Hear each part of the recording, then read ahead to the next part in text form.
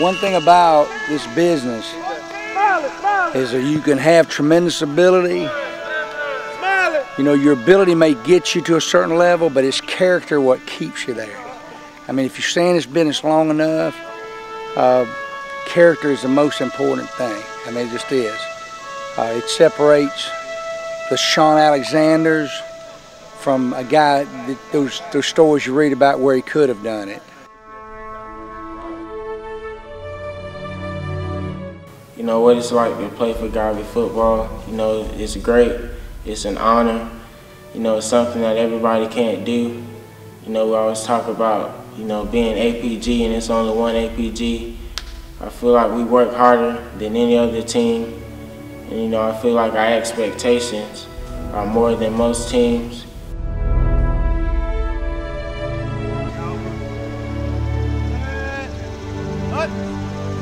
And, uh, and all of our coaches, you know, we're always harping on being dependable, being complete players, being a complete player. And by that, we don't mean being a complete football player. We mean being a complete person.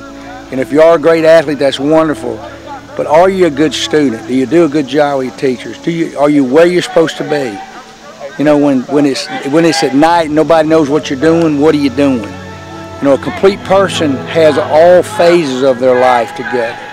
Well, he's he's an all-around just great guy. He he knows football. That really helps us, and he knows how to like how to talk to coaches. He used to coach at Alabama and FSU.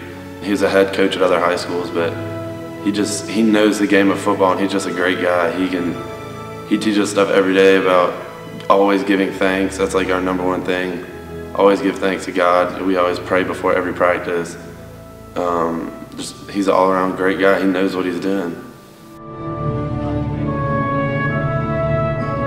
You know, it's just not about winning football game. It's not just about, you know, playing this game. It's learning how to be a young man that's going to have value in life. And, uh, and character is supreme. I mean, it's just the most important thing.